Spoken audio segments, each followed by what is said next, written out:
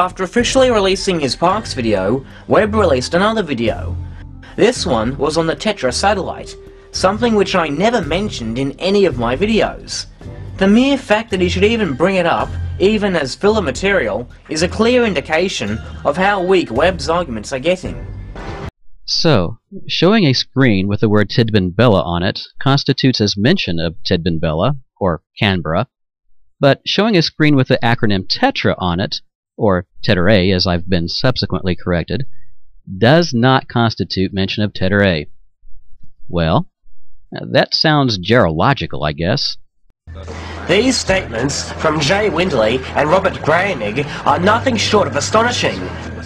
Because this is exactly the scenario that Bill Kaysing discussed vividly in his book. Astonishing?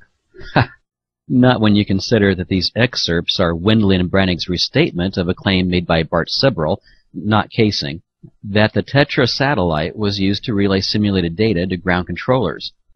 An apparent trait shared among conspiracists is that they don't understand context. Jarrah pulled words from Windley and Braeunig's websites, from pages where they were discussing Bart Sibrel's Tetra A satellite claim. I mentioned Tetra to establish the context in which these words were used by Windley and Braeunig. By misrepresenting what Windley and Braeunig actually said, Jarrah has created a classic strawman fallacy. No, I didn't. I never mentioned Tetra in my video series. Contrary to what Webb says, the passages I quoted are not even a restatement of Sibrel's claims. What I quoted was part of their rebuttal.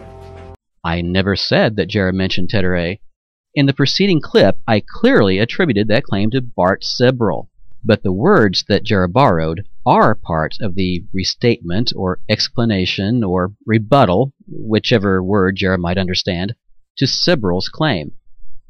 Whether Jarrah acknowledges it or not, that is the context. Before discussing the flaws with Sibrel's tetra theory, Braeunig and Windley discuss how a satellite is not needed to fool the MCC controllers, because the MCC controllers were trained for these missions by being fed simulated data over the landlines. Furthermore, the MCC controllers don't need to know or care where the data comes from. And so, if NASA wanted to fool the MCC controllers, all the NASA manned spaceflight network would need do is relay simulated data over the landlines to Houston. That's what I quoted Windley and Braeunig on. I misrepresented nothing the two said. I didn't quote what they said about Tetra because it was irrelevant to the topic at hand. Yes, it is relevant. As Windley and Braeunig explained in their case against Sibrel's claim, whether the MCC controllers could be fooled or not doesn't matter. The fact is that MSFN operators all over the world received signals from Apollo.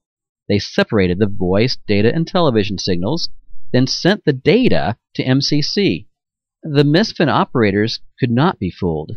That's what Windley and Braeunig were saying, suggesting that the MSFN stations were generating or passing on simulated data is ridiculous.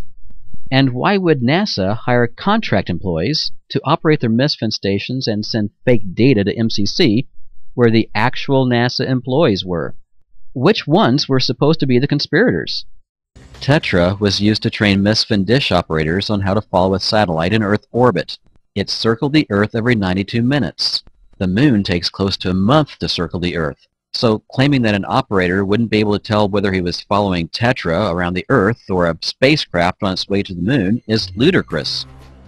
Then it's a good thing that I never claimed Tetra was used to fool the manned spaceflight network, isn't it?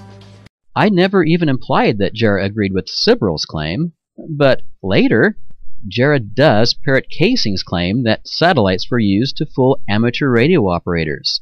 When I addressed that claim, I referred back to Sibrel's claim, a claim that had already been torn apart, that simply puts a name on Kaysing's unidentified satellite. To accommodate amateur radio operators who might want to tune in, identical broadcasts were made from an orbiting satellite. So perfect were all these simulations that the momentary blackout when the module was behind the moon was faithfully reproduced. This Kaysing claim must be where Sibrel stole his idea about the Tetra satellite.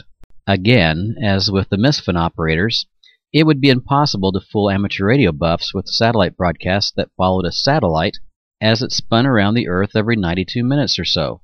Kaysing and Sibrel made essentially the same claim.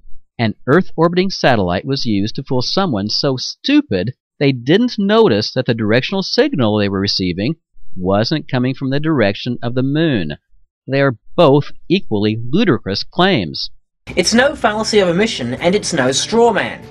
The first sentence was left out purely because, again, it was not related to the subject. I was discussing the ability to fool the MCC with simulated data, that's all. Both Windley and Braeunig state that it's possible to fool the MCC with simulated data.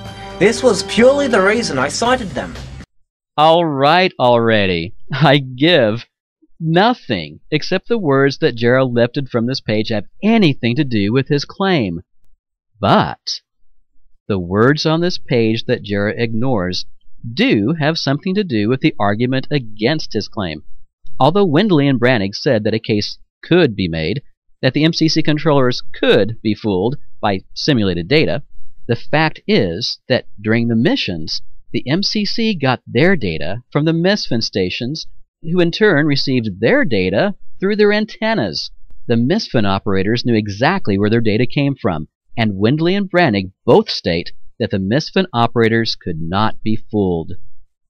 Of course, something that I didn't notice the first time through this, Jarrah never really says that the MCC controllers were fooled by simulated data. But if that's not what he was implying, why did he even mention it? Why would NASA staff their MSFN stations outside the U.S. with local contract employees that they could quickly erase from the payrolls after each mission contractors who had absolutely no loyalty to NASA, or the U.S. for that matter, and have them generate simulated data to send to MCC, which was staffed by actual NASA employees?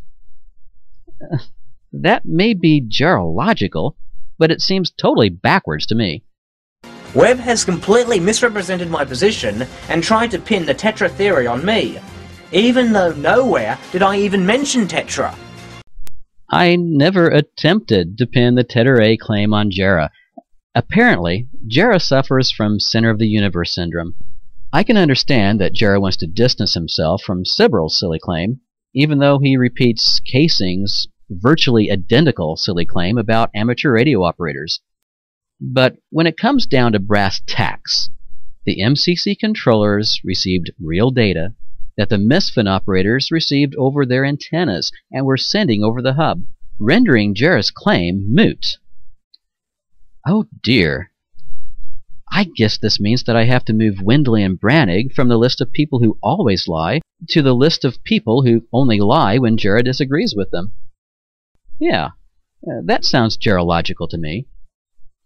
Ciao, moon hoax conspirators, wherever you are.